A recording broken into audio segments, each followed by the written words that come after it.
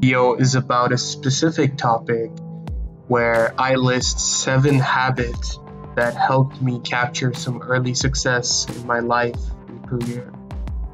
In the year 2021, I achieved the most success I've ever had in my relationships, in my personal life, with my physique, and also with my career. So, how did I do this? What habits helped me out and enabled me to achieve all my goals and conquer all my fears and just become the best version of myself in 2021. Find out in this video. And the one key caveat that I wanted to point out is these habits are only effective if you keep doing them. That's that's the key here. If you stop doing these on a daily basis, they will affect your life, and the progress that you earn or have earned will not persist. That's exactly what happened to me, but I can document the most successful point in my life was 2021, and these are the habits that I followed.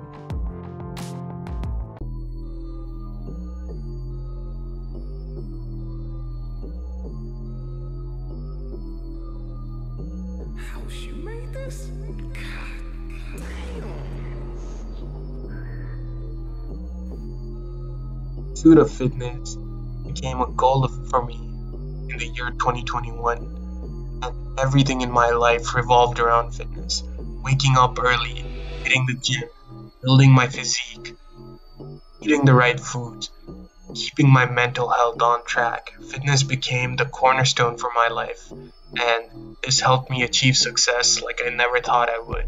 I got the job I wanted, I got the social benefits that I wanted everything that I wanted was aligned with the goal of attaining a better body and being fit and functional and being able to achieve my goals.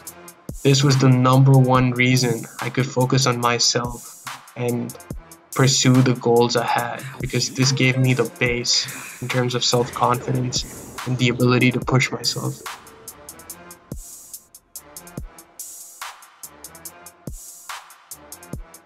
The second most important habit for me was learning. The way I optimized my learning played a huge role in landing the jobs that I wanted, completing the internships that I wanted to complete, and also just learning about the world. What really helped me was to pair exercise and learning together.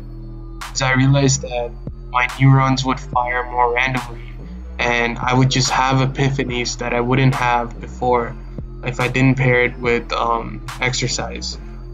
Uh, a huge chunk of my learning routine was the ability to just sit and focus um, and use the Pomodoro technique to use blocks of 25 minutes and breaks of 5 or 10 minutes to just digest as much information as possible.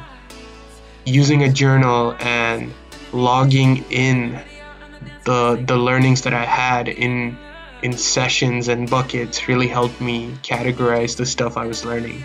And I used various tools such as Udemy, YouTube, as well as ebooks to just push the boundaries of what I would learn, either for work, for pleasure, for business, um, or for spirituality.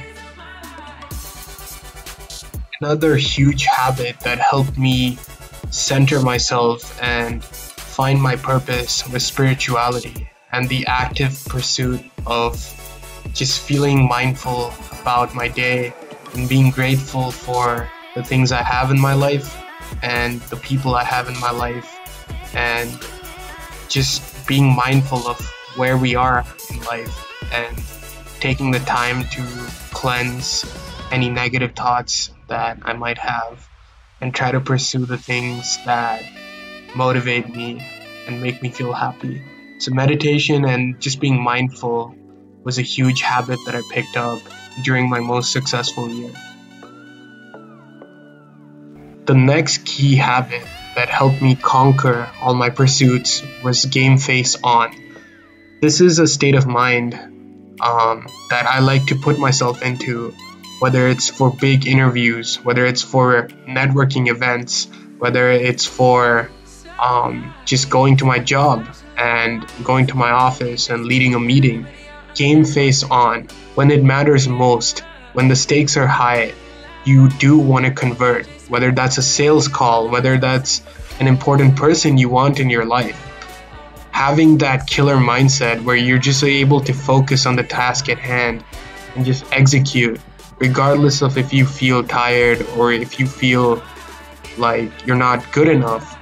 If you just swallow your pride and swallow your anxiety and just perform to the best of your ability, that is a key habit. And that's what I like to call game face on. For every big interview, for every big moment in my life, I've channeled this this habit and this has helped me out a ton.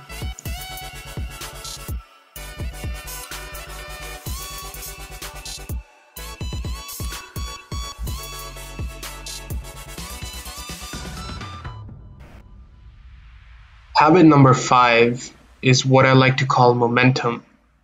Momentum is key in everyone's life. There's gonna be purple patches or periods where everything is gonna go right for you.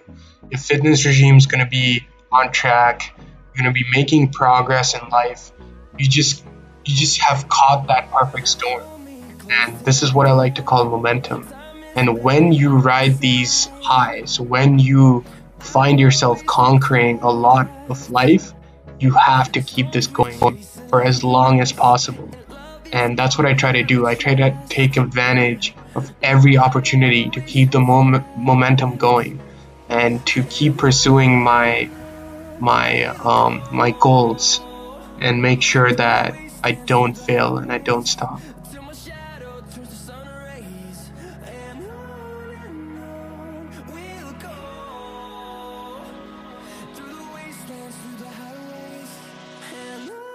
The next habit is extremely important.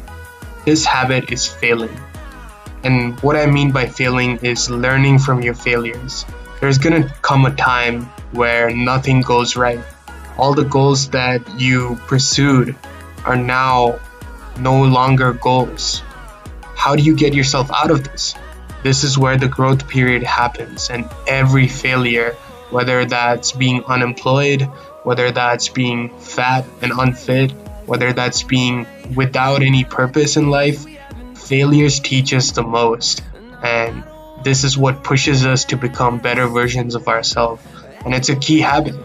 For me, life has never been a straight curve.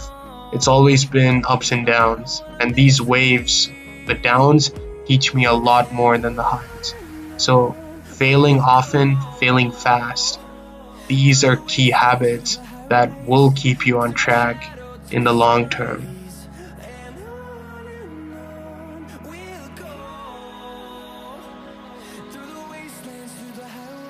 The last habit that brought me huge amount of success in the year 2021 was visualizing. I wasn't at the point that I wanted to be when I started this year, neither physically, not in my career, or you know in my social life but i had the uncanny ability to visualize the one the man i wanted to turn into and you know the things i wanted in my life and the places i wanted to visit and the places i wanted to be and the kind of people i wanted to be with i had an idea i had a vision and i wanted to execute on this and that kept me going the last and most important habit is to visualize. Everything that you imagine in your life right now can change, and you can drive that change. And it's very important to execute, especially when you visualize. These are all the learnings that I have. Hopefully, they helped you out, and you will embrace the mercurial spirit. Take care and please like, comment, and subscribe.